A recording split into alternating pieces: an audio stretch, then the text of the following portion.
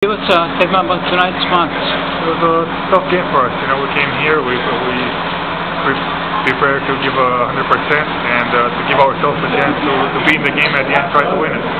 And we did that. Unfortunately, you know, uh, towards the end, uh, we made a couple of mistakes, and uh, they, uh, other experienced players, they uh, they took uh, advantage of them, and uh, that's how they created the difference at the end of the game. But uh, you know, we came here trying to trying to win the game and give us ourselves a chance to win the game, and I think What's your thought about what, why did you lose the game? Uh, like I said, we just made a couple mistakes, and uh, you know they're they're a good team that makes you uh, makes you pay for uh, every mistake.